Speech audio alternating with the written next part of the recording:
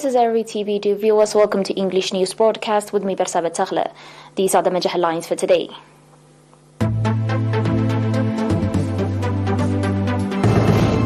Farewell ceremony organized to the national cycling team. Praiseworthy health service provision reported in Gashbarka region. US and its European allies pledge more military firepower for Ukraine. And hundreds evacuated after a fire broke in a town in South Korea's capital.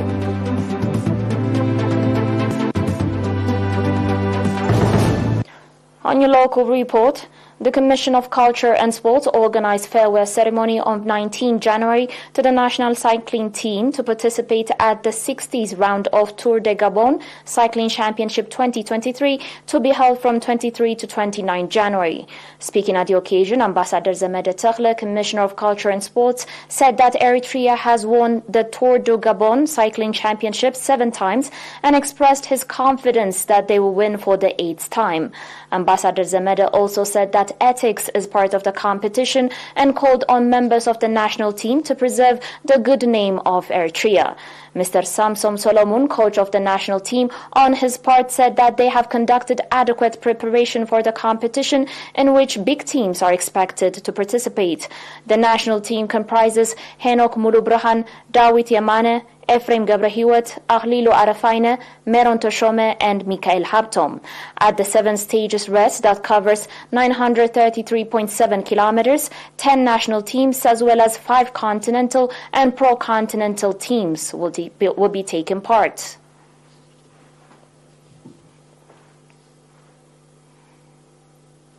At a meeting organized on 17 and 18 January in Barentu, it was reported that as a result of substantial investment made on both in equipment and manpower, the medical facilities in the Gashbarka region are providing praiseworthy health service to the public.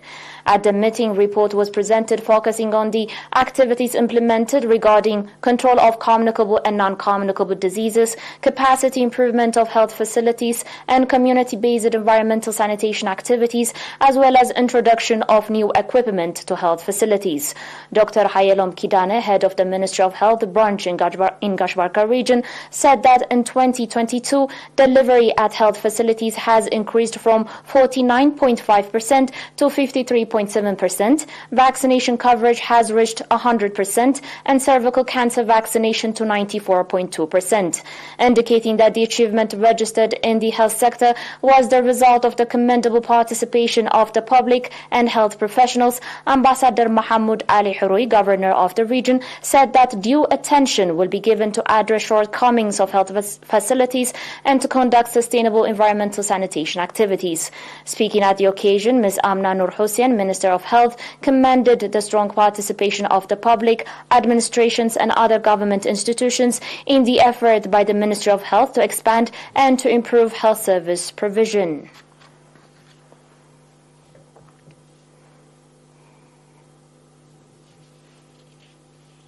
On your last local report, Mr. Yasin Mohammed Noor, head of the National Union of Eritrean Youth and Students branch in Mansoura subzone, indicated that commendable effort has been exerted to develop the overall capacity of the youth in the subzone.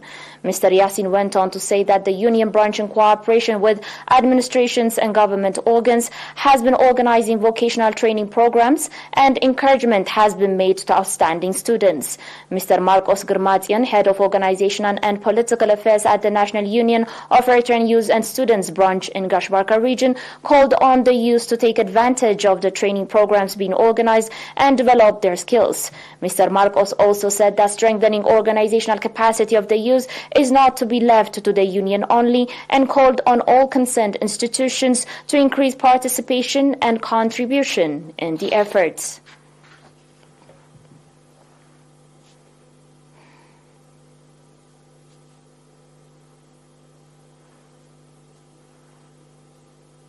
And I'll be back with your international reports after the short break.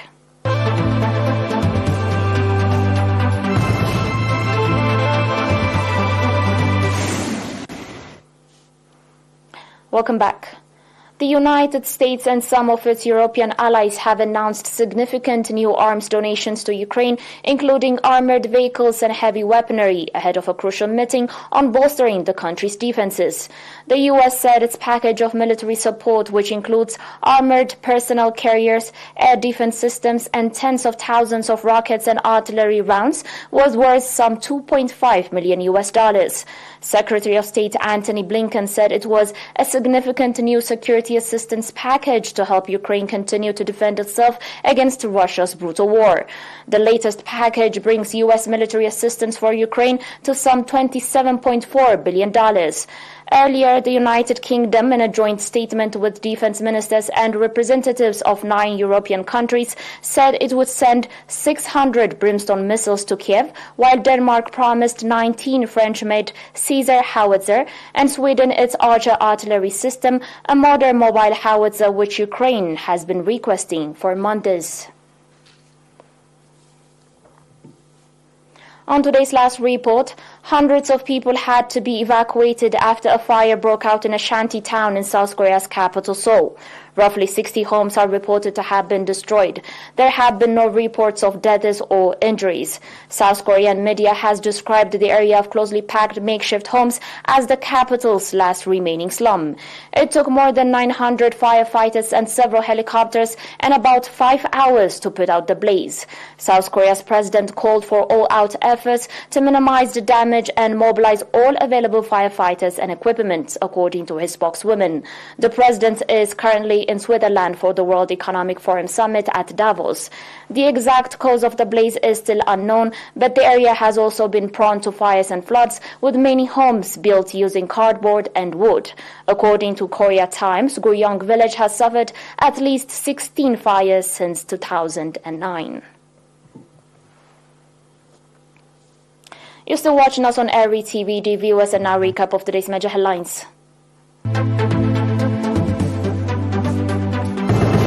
farewell ceremony organized to the national cycling team.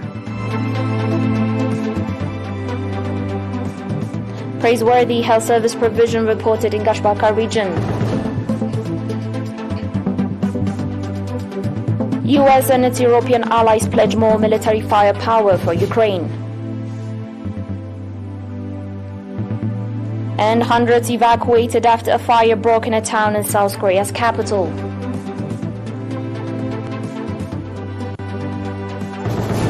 Dear viewers, thanks for watching and do stay for the remaining of our programs.